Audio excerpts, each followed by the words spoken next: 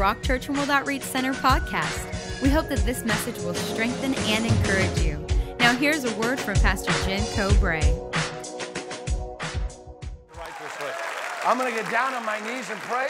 I need God, so let's go before the Lord. Father, we just come to you in the name of Jesus, giving you all the praise, all the glory, all the honor, how good it is to be in the house of the Lord. This is your house, built by your grace, not a man. We haven't come to hear that from a man or a woman. That would be like dumb, God. We have come to hear from the teacher of the church, the Holy Spirit. Welcome, Holy Spirit. Touch us, heal us, strengthen us, encourage us, guide us, guard us, direct us, motivate us to be all that you would have us to be. And Lord, we'll give you the praise give you the glory, give you all the honor. We thank you, Lord, that you're not only going to bless us tonight, but you're going to bless all the churches in the Inland Empire as well as around the planet that are preaching and hearing the gospel of the Lord Jesus Christ. Will you bless our Baptist brothers and Lutherans and Methodists, Episcopalian, Charismatics, Pentecostals. Thank you for Calvary Chapels and Harvest and Oak Valley and Oasis and Inland Christian Center, the Assemblies of God, Foursquare denomination. We thank you for Trinity and Emmanuel Baptist and Ecclesia Church. We love and bless our Adventist brothers and sisters and Catholic brothers and sisters. At no time, Lord, do we think of ourselves as better than them? We see ourselves as co laborers, workers together in one field, building one kingdom, not a man's, but yours. And we thank you that in these churches, the gospel of the Lord Jesus Christ is being ministered to your people. Father, we give you the praise for your wisdom. Jesus' mighty name, with a great big shout, we say, Amen. Amen. Isn't God good? Go with me and get your Bible. And let's talk just for a little bit. What we've been doing every time we get together on Wednesday night, whether it's me or whether it's Pastor Deborah or Pastor Dan or any of the other wonderful pastors that are on staff, Pastor Powell, we're going to hear from him, Dr. Powell. We're going to hear from Dr. Becker, whoever it might possibly be that's on staff, is bringing you a message on Wednesday night about finances, biblical finances. And the reason for it is because, my goodness, everybody, listen. You spend a lot of your time accumulating money, letting it go through you, never having enough. Does anybody know what I'm talking about? And you spend a lot of your time and effort and energy in the area of finances. And what we're doing on Wednesday night is we're finding out what the Bible says about finances because uh, we're finding out a lot of great truths that'll help you to be what God would have you to be in the economic realm. So we don't usually do this in the economic realm. We're usually talking about the spiritual realm. But we're talking about here you're on the planet. You know, God plants you here. You're here for a certain period of time, and money is definitely something that you're involved in. Now, you don't want to get involved in the in mammon, that is the God of this world, but you do want to understand that God's not against prospering you. And you want to see that in the scripture. In fact, I was talking to a guy the other day and he said these words to me. I don't know, he might even be here, but I, I won't mention his name. He said, You know, I've been following you on Wednesday nights and really getting a lot out of it. He says, I really have a problem. He says, The problem that I have is I can't really believe that God wants to prosper me. And I thought about that. For me, I don't have a problem with that. I just believe God wants to prosper me. It's kind of like when someone said to me one time, God loves you. I didn't have a problem with God loving me. You know why I didn't have a problem with God loving me? Because it wasn't about me and how lovable I am, it's about how what a loving God He is. So he is this loving God who loves me, not because I deserve to be loved. I don't deserve to be loved, I deserve hell. And I got the concept right off the bat that uh, it's not about what I deserve. I get hell if I get what I deserved. But I get a loving, caring creator of the heavens and the earth who cares about me and cares about my future. And I realized that a lot of people, after talking to that person, that God spoke in my heart, and a lot of people that are probably in this room right now haven't got the concept of the fact that God really does want to bless them. wants to prosper their life. We talked about it a few months back, didn't we? We, we went to the scripture a few months back talking about how you can't go anywhere with God in the area of prosperity until you understand that God wants to bless you. But obviously, we didn't spend enough time there, so I gathered a few more verses. Some you're going to be familiar with, some that you're not going to be familiar with, because I really want to talk about how God wants to bless his people. Are you worthy to be blessed? Only because you're in Christ Jesus, you're worthy.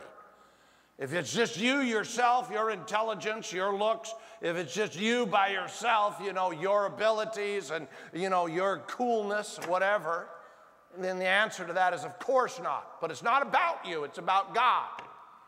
And God who loves and God who blesses, that's what God does, is a God who wants to take you to a new level economically.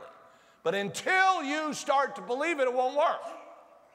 And for that young man, even though he'd heard all the principles and stuff like that, when he had made that statement to me, he was lost. He was lost in the fact because he couldn't believe, because he put himself in the place of earning it instead of in the place of the grace of God bringing it to you for reasons that are found in Scripture, that God wants to bless you.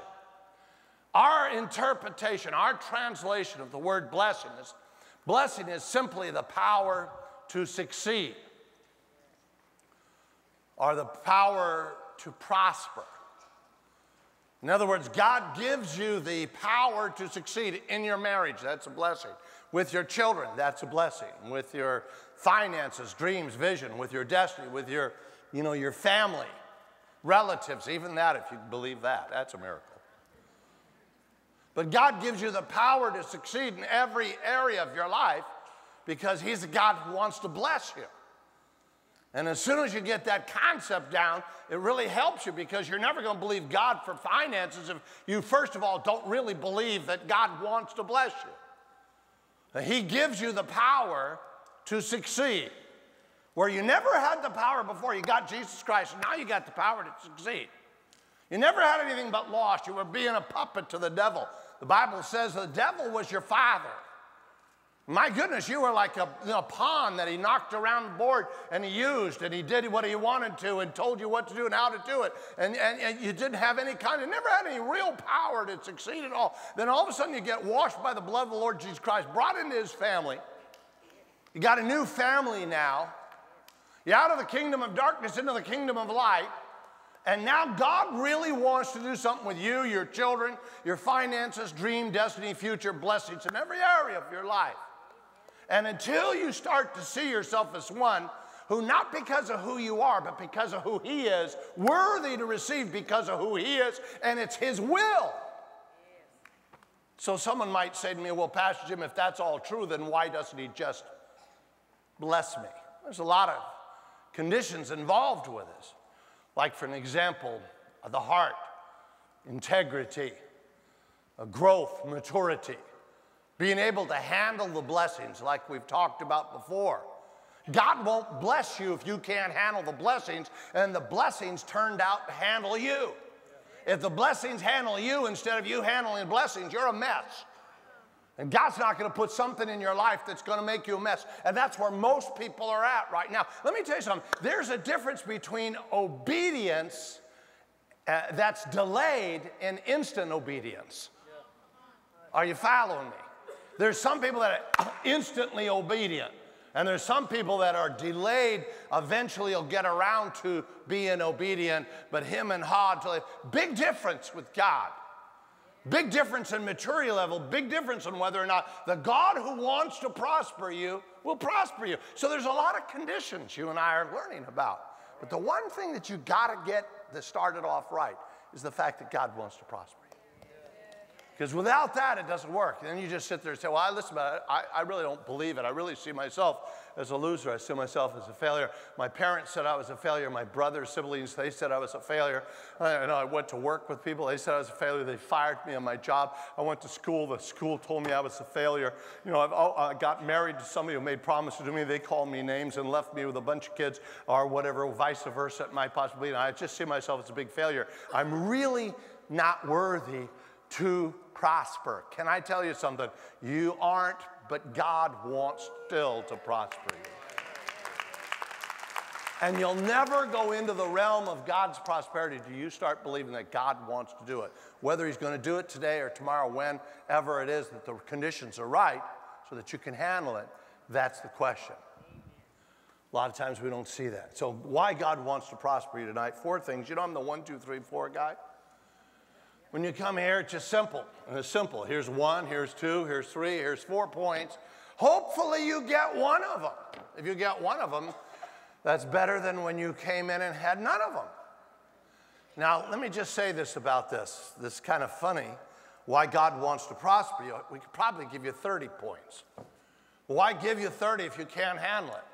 Three is usually as many as anybody can handle, but I'm going to give you four because I believe the best of you and hope that you get one.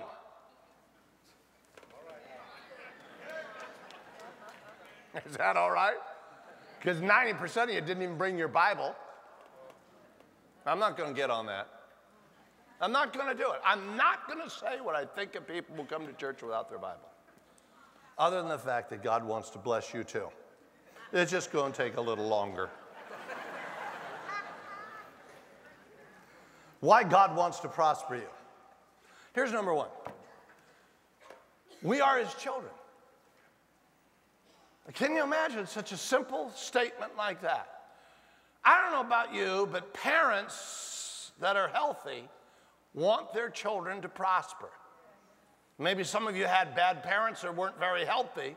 They only cared about themselves, and I'm sorry about that, but you got a new parent in heaven. And he doesn't take Prozac every night or shoot up or snort something or smoke it. You know what I'm talking about? You know, he's not interested in himself, he's interested in you. And you are, when you get born of the Spirit of God, you are his child. I didn't say you look like it or act like it. I didn't even say some of you smell like it. But you are his child. And like any good, healthy parent, the parents actually care more about the children than they do themselves. I don't know very many healthy parents that if their kids are suffering in an area, they wouldn't instantaneously take that pain on themselves than the kids not have it. Isn't that what Jesus did? Isn't that what the Father sent him to do? Broke the Son from the side, and so go and take the pain and the sin of mankind on because he loved us. Can you imagine such a thing as that? We're his children. And if we really are his children and we know how, as earthly parents that are somewhat healthy, to give to our children, then why wouldn't it be a concept in our minds that the Heavenly Father, who is perfectly structured, would even give to us greater than we could ever give to our children? I mean, if you stop and think about what He's already given us because we're His children. He didn't send gold, diamond, he didn't send a universe, he didn't send silver, he didn't send rubies, he didn't send a bag of uh, wealth the size of the Hawaiian Islands to pay the price for you. He came himself. The highest price that God could pay for mankind is himself which makes you the most valuable people on the planet to God. Because the price of you is determined by the cost someone paid for you. And he pays this ultimate price. Not 50 bucks, 100 bucks, gold, silver, or anything the world has to offer, but himself, the creator of the heavens and the earth, comes and gets nailed on that cross and raises from the dead in the third day because you are the most valuable commodity to him on the planet. You're his kids. My goodness sakes alive. We don't oftentimes see ourselves that way, but we should. I've already turned there, maybe you would like to, Matthew, the seventh chapter.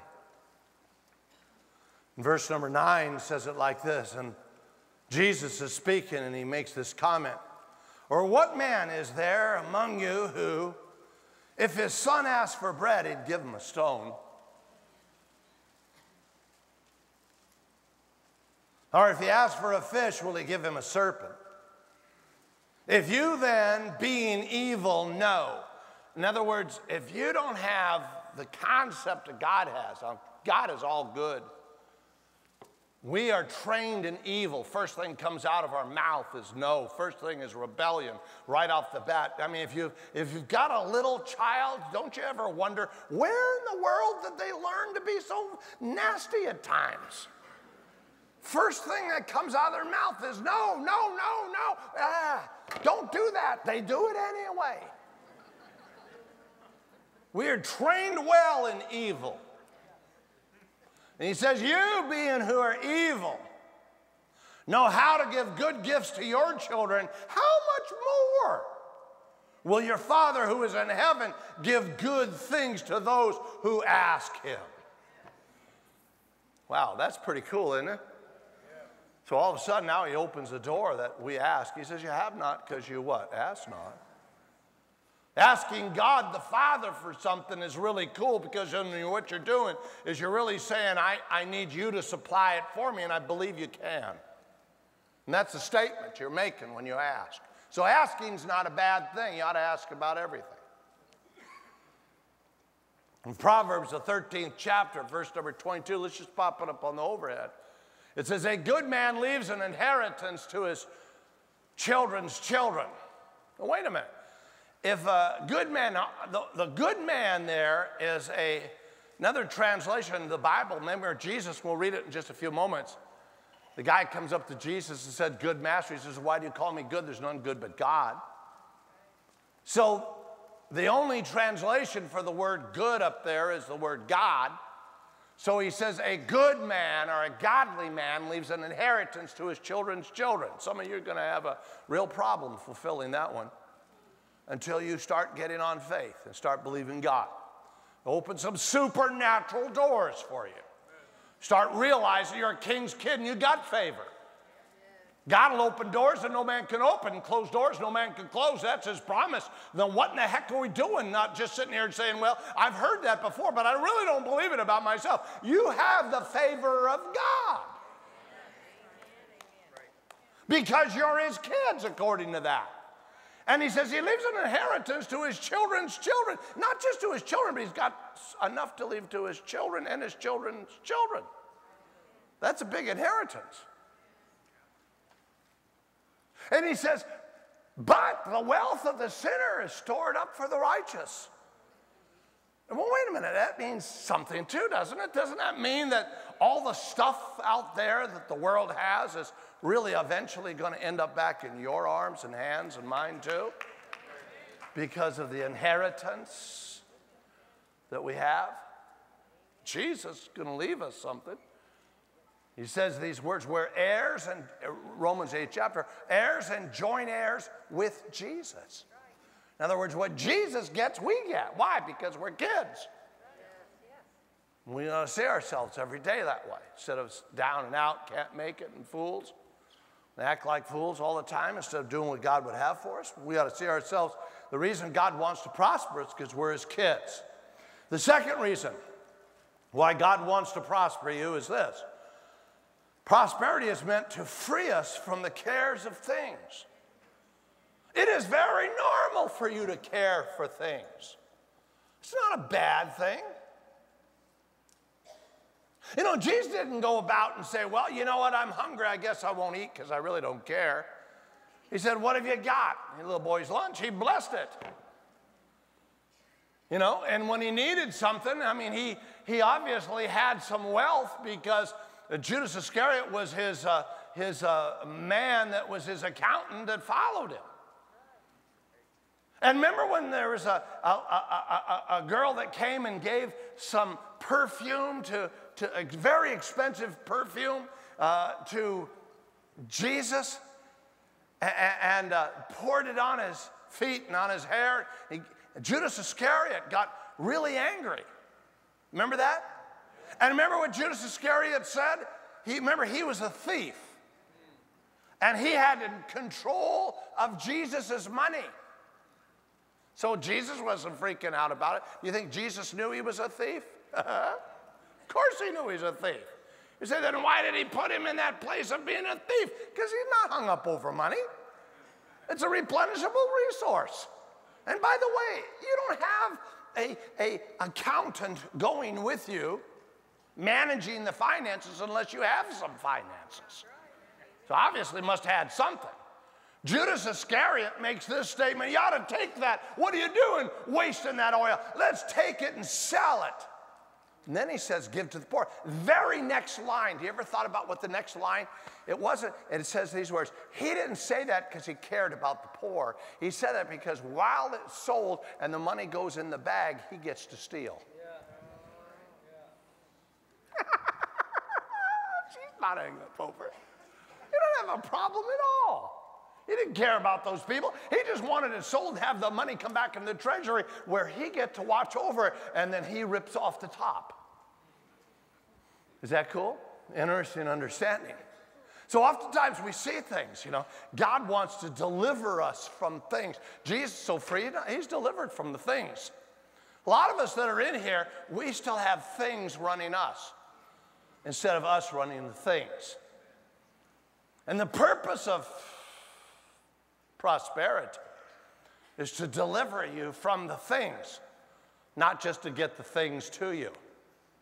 When you start thinking prosperity just gets things to you instead of the deliverance from the things, you've missed the purpose of prosperity. You need to hear that again, don't you? Want me to say it again? I don't know if I can. the point being here is this, this is something for us to see. There's an interesting truth that's coming forth there are two types of caring. We're supposed to be delivered from the cares of things. There's two types of cares. There's the cares you have when you don't have enough money, and there's the cares you have when you have too much money. And there's two kinds of cares that you're going to have to deal with that God's going to give you. One is when you don't have enough money, and the other kind of care you have is when you have too much money. And both of them in themselves are traps to your heart. You follow me? When you don't have enough, then you work overtime and a lot trying to get it, and your time with God becomes little. And when you have too much, you work and manage to try to keep it all together and try to hold it all together and manage it properly and steward it. I talked to a rich man one time. He said, I've worked twice as hard trying to keep what I earned. And either one of them are wrong. There's got to be a balance, and the balance can only be found in each one of us is different. Did you know that? Because it's not about the things, it's about the heart. I want to say this to you, and I'm going to just let you know what I'm speaking by giving you a point. Anytime that your effort becomes deeper than your relationship with your God, you are now out of order.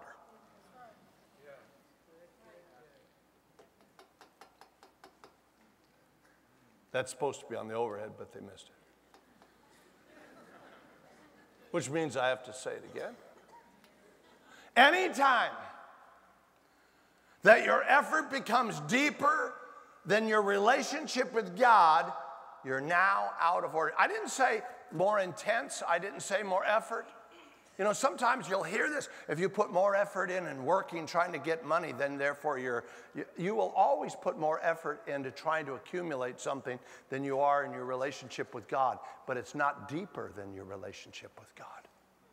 I work harder at my job than I do at spending time with God. That's understandable by God, but I never work deeper. Are you following me? And you will always work harder for something, but never can it be deeper for something.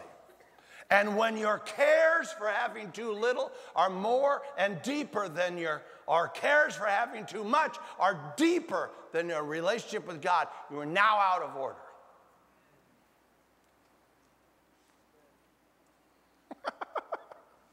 Is anybody listening? Because listen, it was caused to bring you to a place where you are free from the cares of stuff. Let me read it to you one more time while the back room tries to find it so they can type it out the right way. Anytime that your effort becomes deeper than your relationship with God, you're now out of order. I didn't say any time that you work harder or longer. I said deeper. Are you following me? In Mark, the 10th chapter, you're there in Matthew. Just go back with me to Mark in the 10th chapter and let's take a look at this. You've read the story before, but I, I want to read it to you and let's look at it from a little different perspective this time. In fact, we've read it a couple of times because it's such a good story. In verse number 17, it says this, and Jesus is speaking in a few moments, and let's hear what he has to say. And now, as he was going out on the road, one came running knelt before him and asked, Good teacher, what shall I do that I may inherit eternal life? See the words good teacher up there?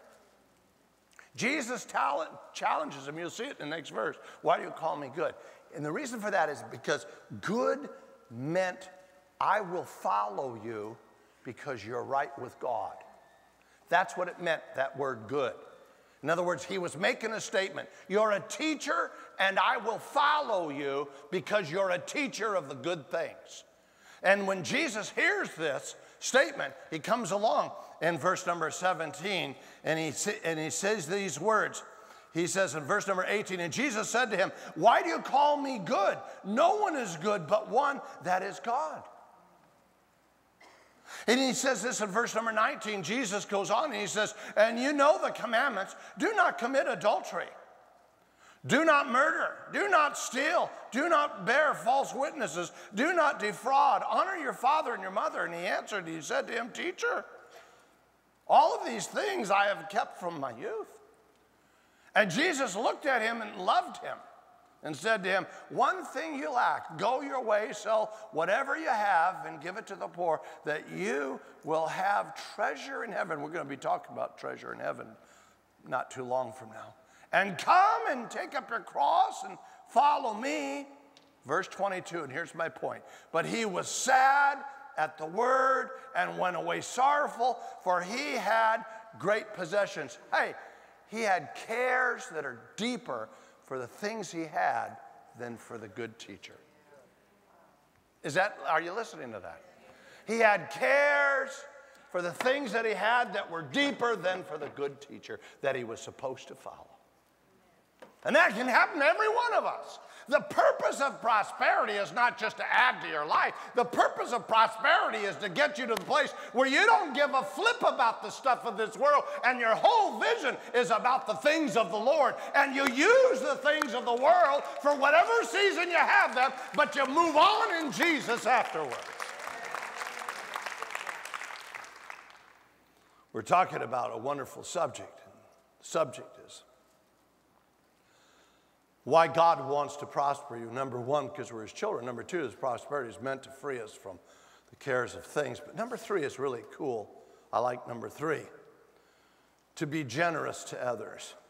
I mean, God called you to be a blessing to others. And in order for you to be a blessing to others, you cannot be a blessing to others until you are blessed. I want you to hear that again. You cannot. Is, does God want you to bless others? Does God want you to be generous to others? Does God want you to give over and above to others? Does God want you to help those that are down and out and poor? Does God want you to do these things? The answer to that is, of course, He does. But how can it happen? And it never will happen until you realize that your Father in heaven wants to bless you or gives you the ability to prosper. Because that's what this is all about. He wants us to be generous to others. And the purpose of prosperity is not just that it stops with me and I gain in life and I'm so cool and I've got all the stuff. The purpose of prosperity is that I would have an abundance so that I could give to others and I not even feel it. Because I don't have a care for that, I have a care for Him that's more than that. And until we get this in our hearts, it never really works. Because we're always thinking prosperity is here for me. Yes, you will benefit from it. Yes, you will prosper in your home and your cars and the way of living and society and social systems and standards and things like that. And that's fine because God doesn't care about that. But He is making you generous so that prosperous so you can be generous to others. Because it's in the generosity of others that God gets involved. I can't tell you how many pastors all over the world. I'm going to go speak to 2,500 pastors. I, I think someone said that to me uh, next year. I'm not quite sure, not uh, in, uh, Australia. And uh, as I understand it, one of the things, yeah, yeah, I, I, all over the world, they ask me, why do you feed people at the rock? Well, we feed people because people have a need. We need to be generous. Then their question, inevitably, the next question do they come to the church? And I say, no, very few of them come to the church. Then why do you feed them? I said, I feed them because God comes to the church. That's what this is all about. This is all about being generous to others. And when you're generous to others, God gets involved in your life. Oh, but the problem here's the catch 22 you can't be generous to others if you don't have anything. How many of you have said this? Well, God, just give it to me. I'll, I'll, pass it on. Well, God says, okay, here's five bucks. Let's see what you do with it. Man, let's go do this In-N-Out Burger thing, man. I got five. Remember, if you can't handle little things, you're never going to get the big things. That was one of the principles we've talked about. So God's looking for us. Remember, let me just read something to you. I'm going to put it up on the overhead. Remember um, uh, 2 Corinthians, the ninth chapter. In fact, you know it by heart. Did you know that you know it by heart? You know it by heart. If you go to this church, you know this verse by heart. But let's go, instead of verse number eight, let's go to verse number seven. Just pop it up on the overhead. So let each one give as he purposes in his heart. Now, if you don't have a heart that's generous, you won't give anything. And you'll never be instantaneously obedient, and you will delay in your obedience, which is just as bad as being disobedient. I'll, we'll share that somewhere down the road. So let each one of you, as he purposes in his heart, I didn't see wallet. I didn't see checking account. I didn't see as he purposes in his checking account. In other words, some people add it all up. I've got extra this month, I'll give it. That's cool. But you'd been better off giving it before you added it up to see what you have. Not that you're a fool and you shouldn't keep track and be a good steward and manage properly because you don't want to bounce checks. But still, at the same time, first things first, and that's God. And he says, so anyone's giving a purpose in his heart, not grudgingly or out of necessity. Grudgingly means I hate giving out of necessity, or means some big mouth preacher talked you into giving. And the whole country is, is swayed by big mouth preachers that talk people into doing this. And let me tell you something it's not what you do, it's how it comes out of your heart. It's not the amount, it's a heart. When the heart's in it, man, the amount, remember, you're, you're free of that care. And, uh, and you're, now you're learning how to be a generous person. And well, I'm here to be generous to somebody else, not just to attain for myself. I'm here living not only that I would live for my family and my wife and my children, but I'm here because I am building up something inside of me, a character of God that comes and gives to others. That's what this is all about. He says, For God loves a crappy giver. Does your Bible say that? It doesn't say that at all. God loves a complainer. See, it's all about your heart. And it's all about this simple, simple word called generosity, which is something that I met Debbie, she was stingy. And, and uh, now she gives everything away. But when I met her, she was so stingy. I mean, she had nothing away. She, I, had, I bought her a, a, a, a brand new Cadillac Well, it was brand new to her. It was about 100 years old. It only, it only, you know, it only worked two weeks and blew up. But then we gave it away. In fact, she had a car that didn't have any brakes when I met her. She'd go down, you know, anybody remember when you were young, didn't have brakes, how you pumped? Does, that, does anyone remember pumping? Wave at me if you ever had to pump your brakes. So all of you know you've been in the same kind of car Debbie had. You probably had first, she probably gave it to you. She'd pump her brakes. I said, You can't have that brake. So I went out and bought her a Cadillac. I admit the Cadillac was 100 years old and blew up. But, and she got mad at me for giving her car away. But I got her old car and gave it away to somebody. They fixed it up and drove it forever. It ran great. Her Cadillac fell apart, but the, the car, she always liked that old car. Today, she's one of the biggest givers I know. Can hardly wait to give. Generosity, loves, she's cheerful giver, loves to give, bugs me. I like to have some material things once in a while. I like nice things. That's okay. But Deborah loves to give. She lives to give. Cheerful giver. Now, the verse you know is the next verse. Verse 8 says this and God is able to make all grace abound towards you, that you always having all sufficiency in all things and may have an abundance. Generosity was what we're talking about. It may have an abundance. Generosity is what we're talking about. You, may have an abundance that you may have an abundance. An abundance means just not getting by. You got to be blessed to be a blessing. Are you hearing me? That's what the Word of God says. This is the heart of God. This is what God wants to do for you. Not because you're so cool, but because He's great. And He says that you may have an abundance for every godly work. Is that cool? Generosity. Last one, I'm just going to go quickly through this. We're talking about why God wants to prosper us. We're His children, number one. Number two, prosperity wants, is meant to free you from the cares of things. So, things having you, you're free from that. Generous to others, number three. Number four, to fund the gospel. And God wants you prosperous so that you can spread the good news of the Lord Jesus Christ.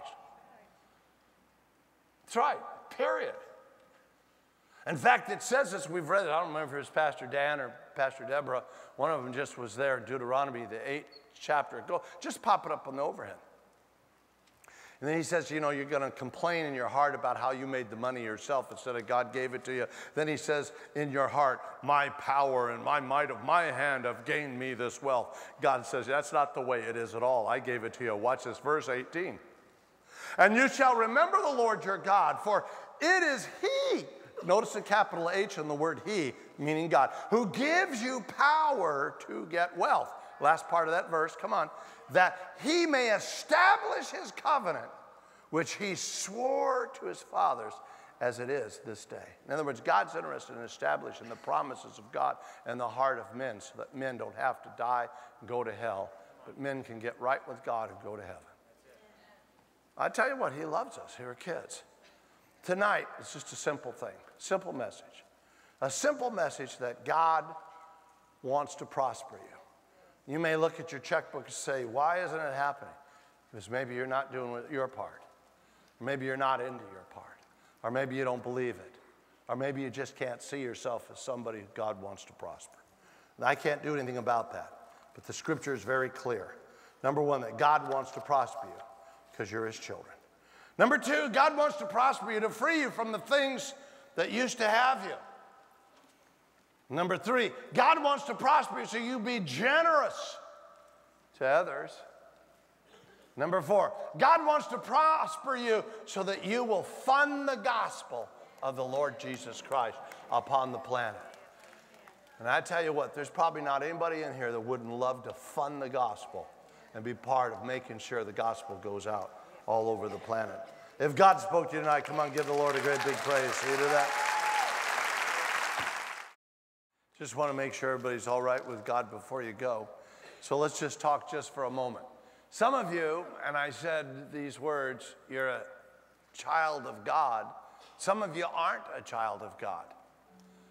No, you're going to die, and you're going to go to hell, and somebody needs to tell you that's what it's going to be like.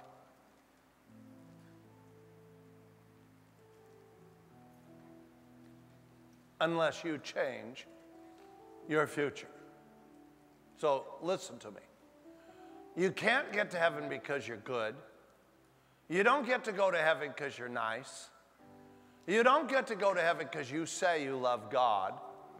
You don't get to heaven because you go to church or join the church.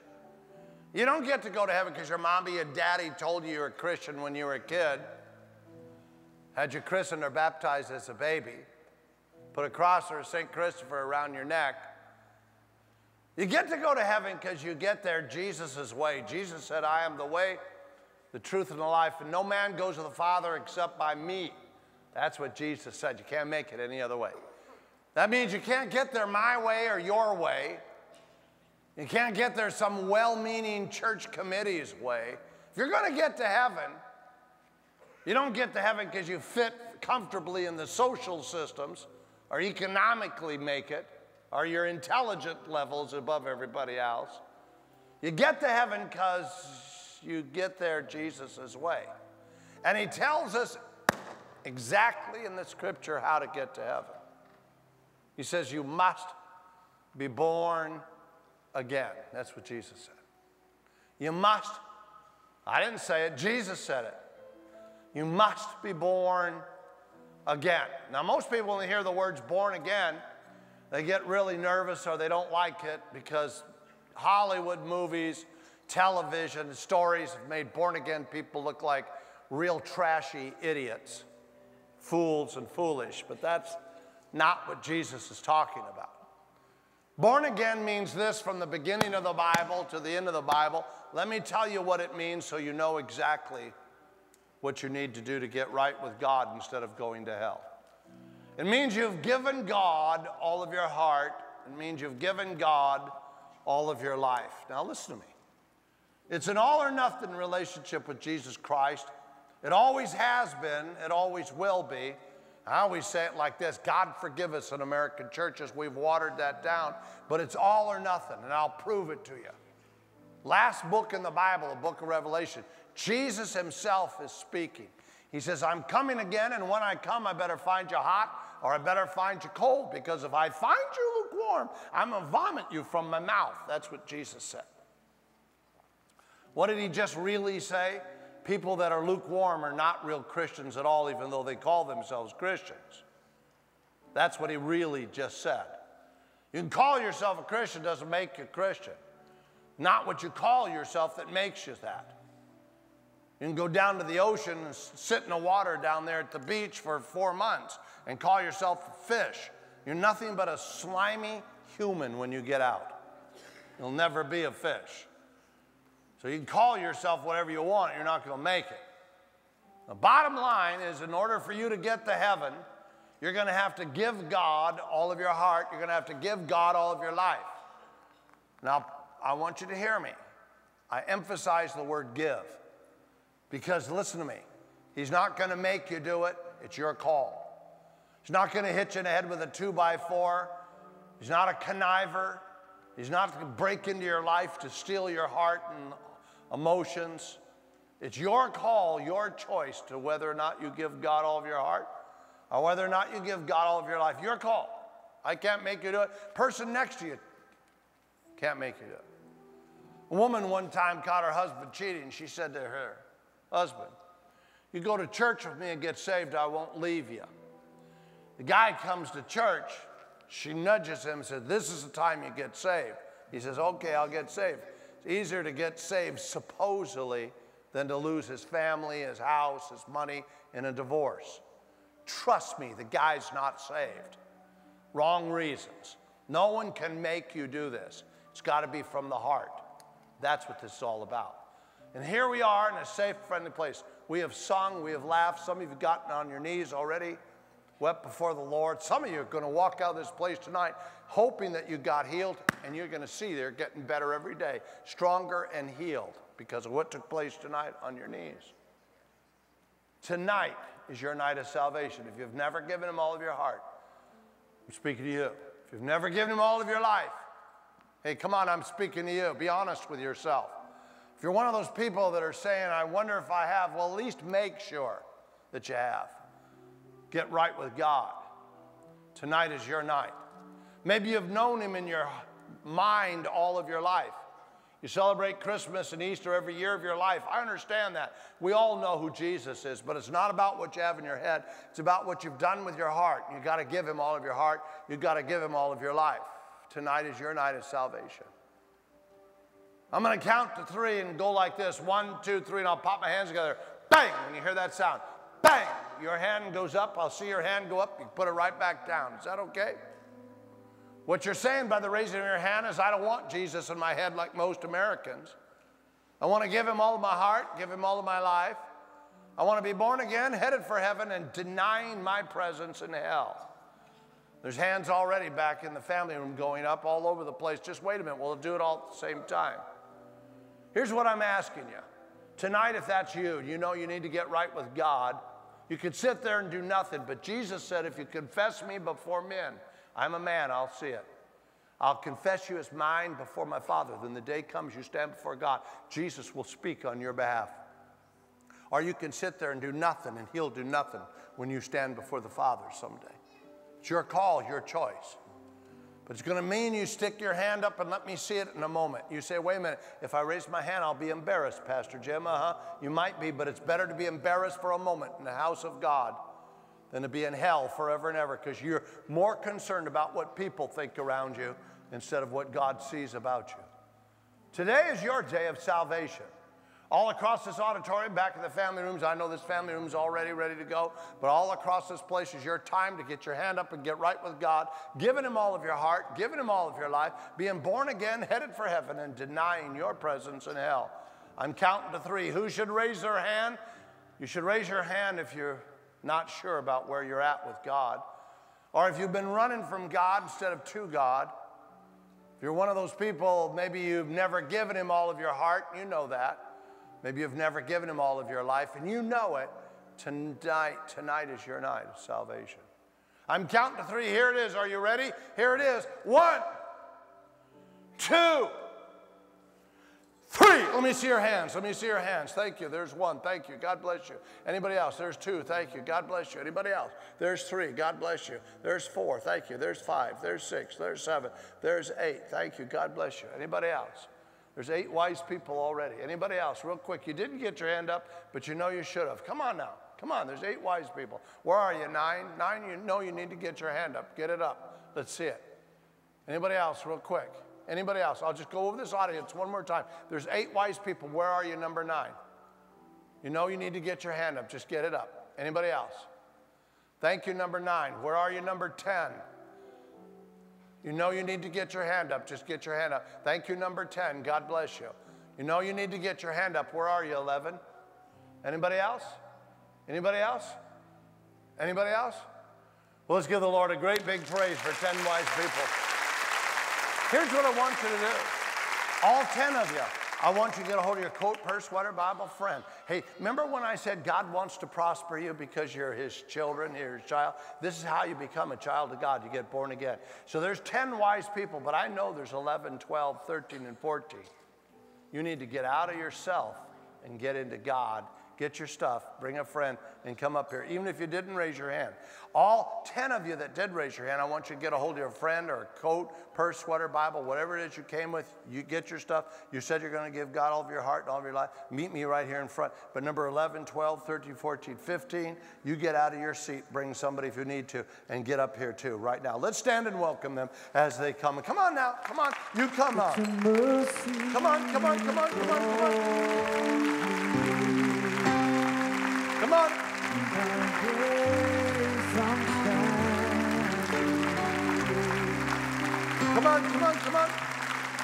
Matter the road I walk, cover my wrong, I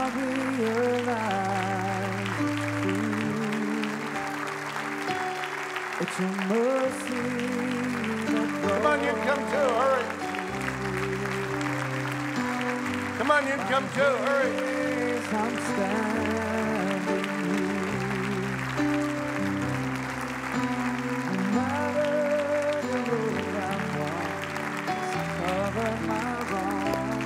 Thank God you guys have come. Over here is Pastor Dave. He's waving at you right now. He's really a good guy. No weird stuff goes on, I promise you. He's going to pray with you to invite Jesus into your heart, okay? And then, second, he's going to give you some free information, some free stuff to take home and read about now that you're a Christian, what to do next. And then he's going to tell you about a program we have that'll help you get strong, healthy, and a, be a strong Christian. Why? Because we don't want you to go back and fall through the cracks. We want you to go on with Jesus and be blessed. So let us help you, okay? Because you said you're going to give God all of your heart and all of your life. Only takes a few moments. People you came with will wait for you. So make a left turn. Follow Pastor Dave right over there. Come on, let's give the Lord a great big praise.